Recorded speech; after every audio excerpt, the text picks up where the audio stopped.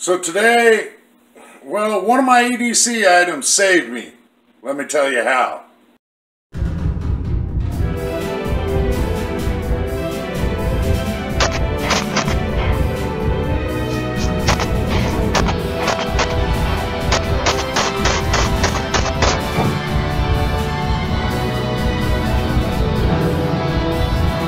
Here, watch.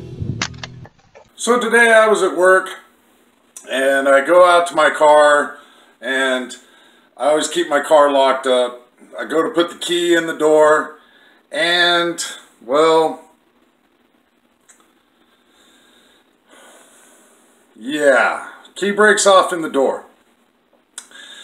If you've seen my EDC, you know I carry a multi-tool and I was actually able to uh, extract the key from the door luckily for me, one of the things that I carry as an EDC in my big fat wallet is a spare key to my car.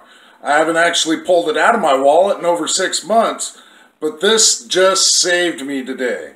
Yeah, uh, keep a key to your car in your wallet as part of your EDC. It works for me. Keeps your magazines loading, always keep one in the chamber.